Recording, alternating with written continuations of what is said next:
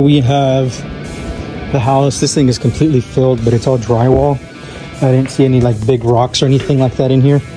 Um, so we're gonna have to get this dumped out. This is all just drywall and like insulation. So it doesn't feel heavy. I can still move it. Um, so I'm just gonna have to call Hugo to empty it out. This is gone, this is gone. These two things that were here are gone, which is good. Everything else is getting broomed and swept right now.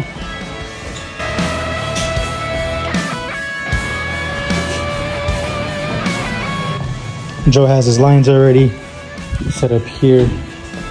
He's uh, almost done with everything else. They're gonna clean this tomorrow. Clean this as well.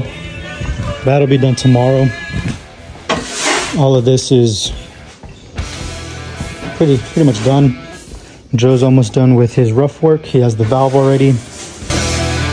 There.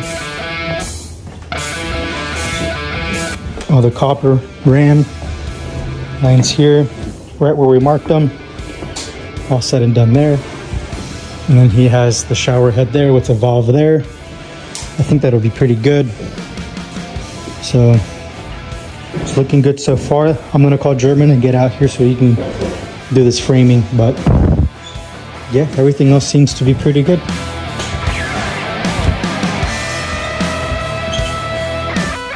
Oh yeah, they just gotta demo this. We can have German do that too.